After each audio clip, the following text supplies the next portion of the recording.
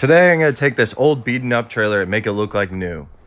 I found this thing on trusty old Facebook Marketplace. It was listed for $17.50, which I knew was overpriced, and I knew I could talk him down. He ended up keeping the winch, and I got the trailer for $1,400, which I was happy with.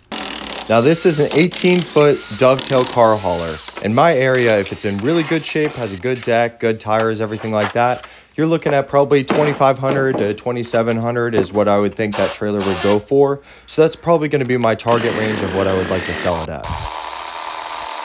First step is just to remove all these boards and wires, get the trailer completely stripped down to its frame.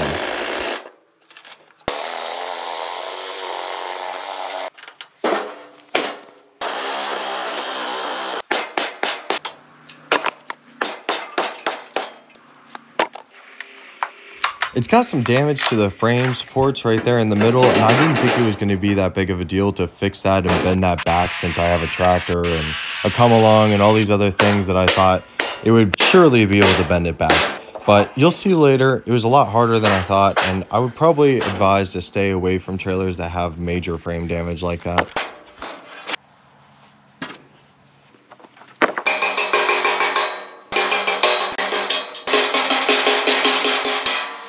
That the boards are off, I just gotta get these wires for the lights out.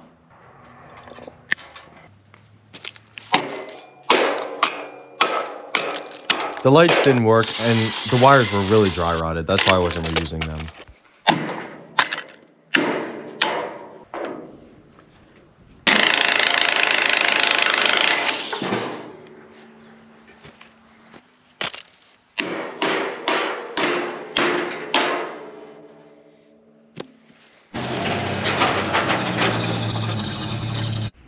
Since the previous owner didn't have any boards in the middle, his winch hook caught that angle iron and bent it pretty severely. I feel like I did a decent job at straightening it out though.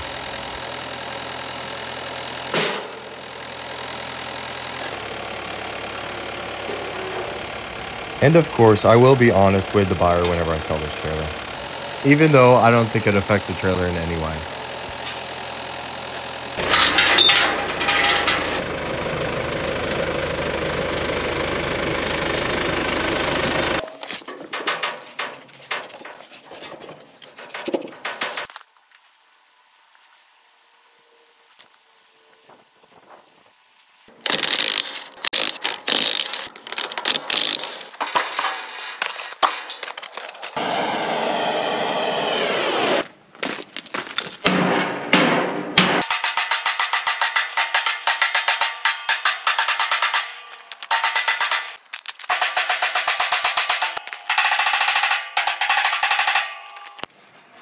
The fender welds had broken loose, so I needed to prep the trailer for welding.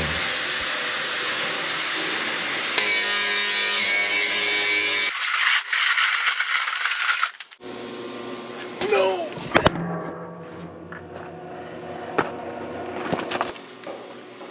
Welding the fenders is not something you want to rush. You got to take your time because if it burns too hot, you'll burn through your fenders. But if it burns too cold, then you won't penetrate the frame. Now the trailer is ready for a wash. I do two rounds of degreaser with a rinse in between, and I use a 3400 PSI pressure washer with a turbo tip. This will smooth any surface rust and it will remove any paint that's flaky.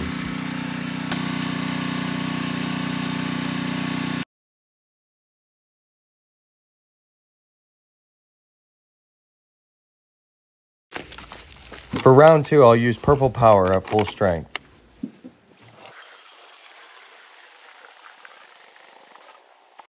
And I sped it up for the sake of time, but this took me at least three hours just to watch this trailer.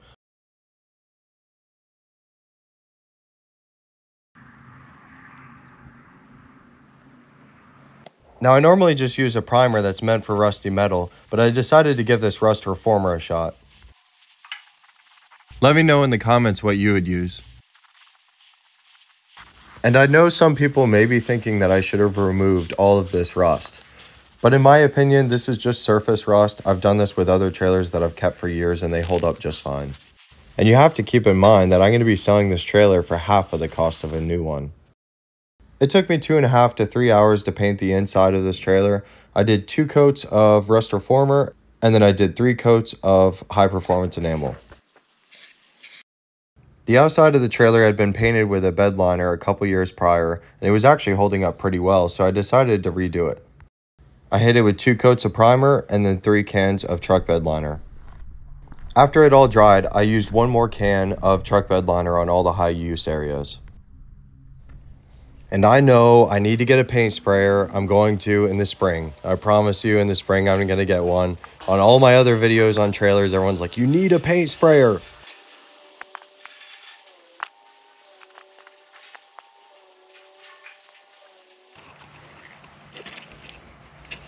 For connections, I really like these solder connects. You just heat them up and that piece of metal in the middle will melt down and it creates a really, really good connection that's watertight. And it's probably overkill, but I like to throw some shrink wrap on them sometimes too. These trailer lights use a four-way plug, which means there's four wires. You've got your green, which is going to be your right turn signal. You've got your brown, which is going to be your running lights and amber lights. And then you have your left turn signal, which is going to be the yellow wire. These wires will also be wrapped in electrical tape. Your amber and clearance lights typically have one wire that gets spliced into the brown wire going back to the taillights. If it has two wires, one of the wires is probably white, which means it's ground. I had a problem when checking the lights though.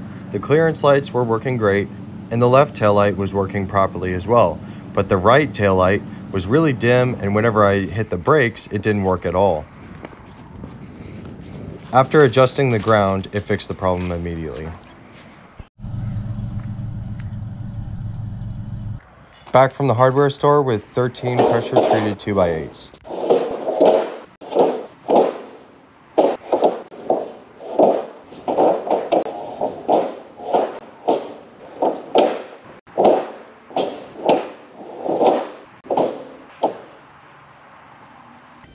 For some reason, the boards did not want to fit underneath the frame of the trailer.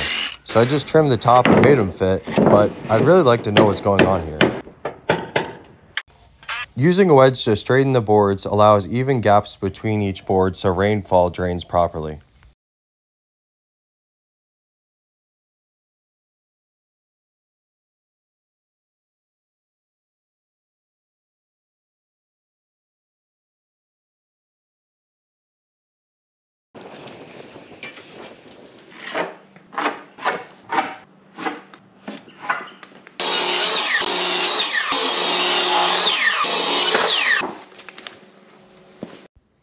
The notches for the dovetail were harder to do, but it was really satisfying.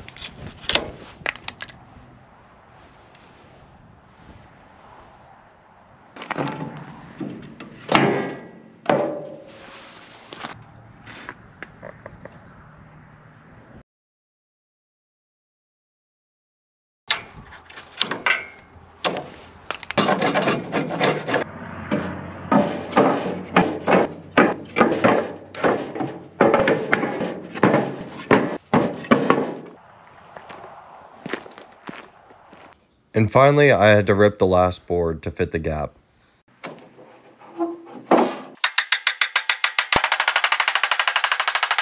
And it's done. I think it turned out pretty well, and it sold within about a week and a half of posting it. If you enjoyed this video, you should check out my channel. I've got a couple other trailer videos, and then I'll be posting new videos every month.